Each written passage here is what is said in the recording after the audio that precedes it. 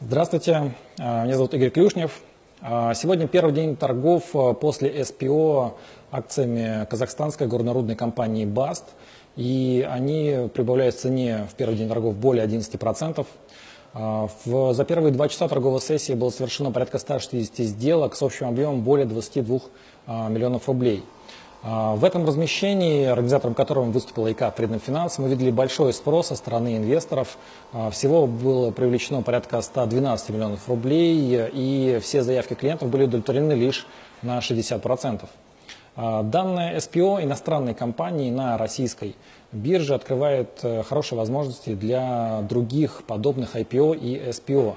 А, учитывая, что на российском рынке торгуется ограниченное количество бумаг и сейчас наблюдается неопределенное движение на фондовом рынке, такие размещения предоставляют э, хорошие инвестиционные возможности для инвесторов.